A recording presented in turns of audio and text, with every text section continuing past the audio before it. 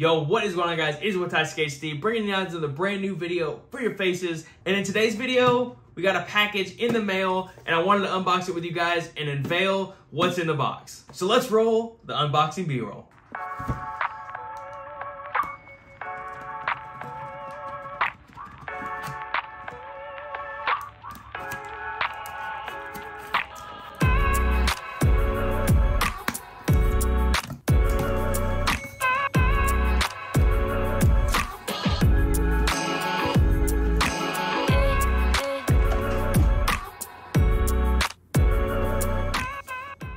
Alright guys, so here she is, my first SCUF gaming controller. Now I've always been a little hesitant on picking up a SCUF just because it is a lot of money to dump into a controller compared to a regular controller. But with how much I've been playing Call of Duty and a couple other games like that, everyone's been telling me and recommending me to get a SCUF. So SCUF just had their Max Your SCUF event where you can pretty much max this thing out and it's all one set price. So I pretty much just figured if I was ever gonna get one, now's gonna be the time.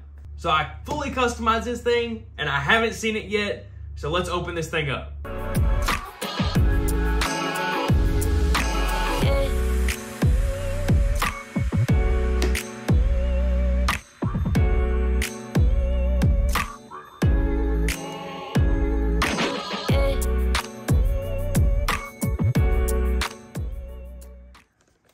So here she is. Gotta take off the Take off the foam. Got the little back back covering. There she is. Got the paddles.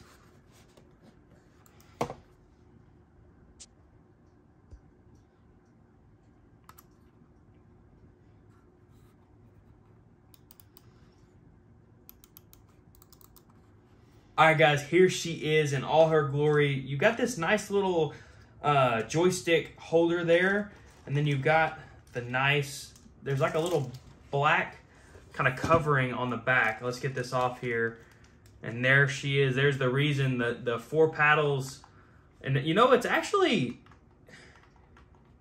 you can almost do both the paddles with like, with just your like fingers. Like, cause you can push down or push up depending on which button you need. I was a little worried that, that looking at them, that these buttons were going to be a little too close, and I've got pretty fat fingers, uh, and I was kind of worried that I was going to not be able to hit these paddles, but they're actually really well uh, aligned where I'm not really going to, I don't think I'm going to have any issue with that. And one thing I did whenever I was designing my SCUF was if you take a look at my old PS5 controller, I actually play with a KontrolFreek on it, and it, I only use it on my right joystick.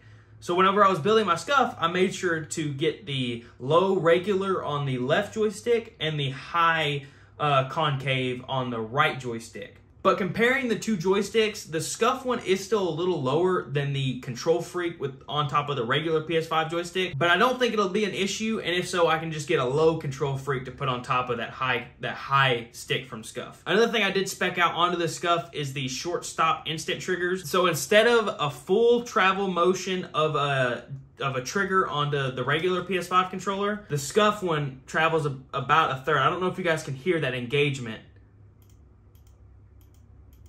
but it almost barely moves. And same with same with the bumpers. They are they're very very uh, tactile and they almost kind of sound like a mechanical keyboard instead of uh, an actual button full like full motion button.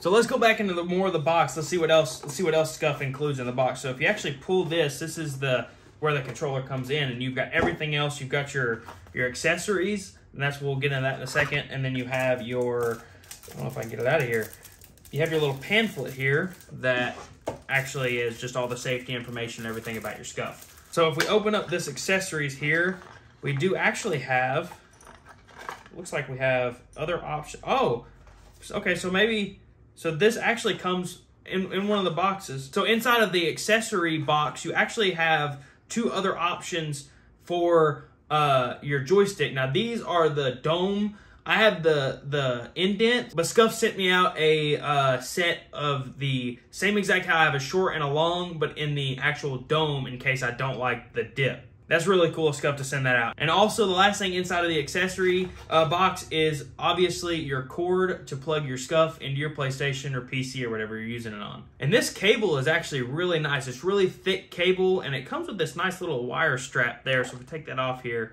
it's got a good, you know, it's got a good length wire. I play obviously at a setup, so I don't have to, you know, be very far away from my system anyways, but it's really good to have a little bit of extra length on your cord so, you know, you can set it up on your desk or something if your if your PS4 is on the ground or PS5 is on the ground or somewhere away from your desk.